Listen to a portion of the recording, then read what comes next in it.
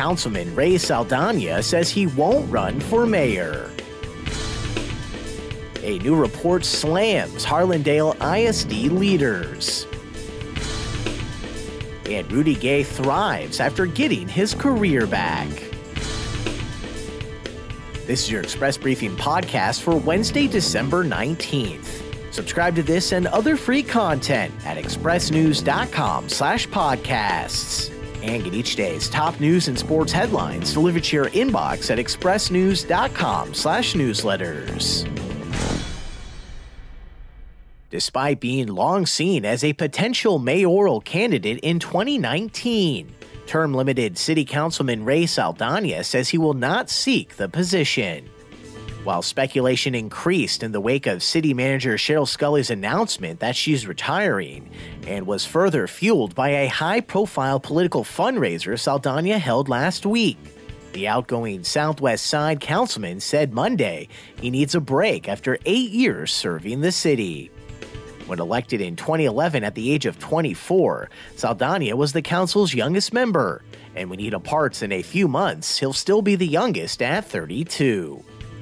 The Stanford University graduate says he's now going to work for Raise Your Hand Texas, an education nonprofit founded by Charles Butt, with plans to work part time until his council term ends in May or June, depending on if there's a runoff for the District 4 seat while he says he's ruled out a 2019 mayoral race that could pit Councilman Greg Brockhouse against incumbent Mayor Ron Nirenberg.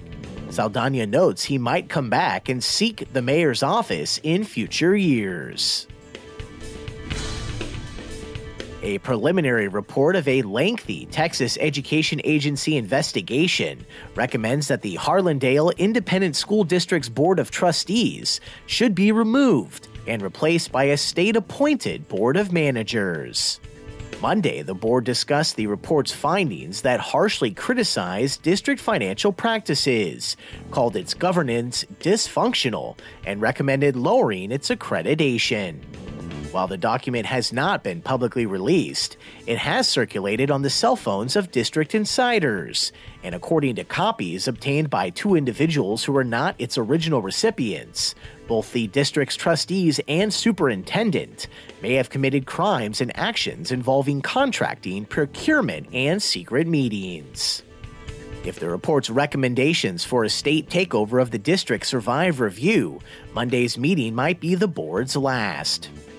Similar investigations preceded 2016 state takeovers of the boards of the Southside and Edgewood ISDs.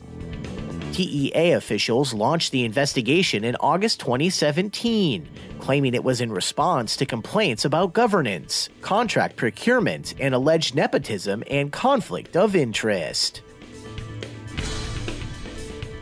And midway through the first quarter of the Spurs' carnival romp over Philadelphia on Monday, Rudy Gay flew through the lane and rose for a tomahawk slam.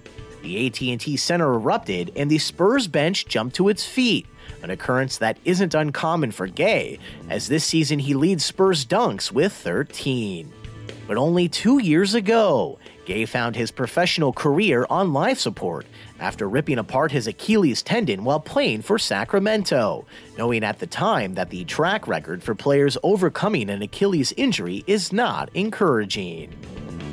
But now, in his second season with the Spurs, Gay has emerged as perhaps the team's most important role player, averaging 14.3 points and 6.8 rebounds, while shooting 45.8% from three point range, a 10% increase over his career mark from downtown. In his own words, Gay says he's blessed to be able to say he came out on the other side of what has been a devastating injury for so many other NBA players. And that's your daily San Antonio Express briefing for Wednesday, December 19th. Subscribe to this and other free content at expressnews.com slash podcasts.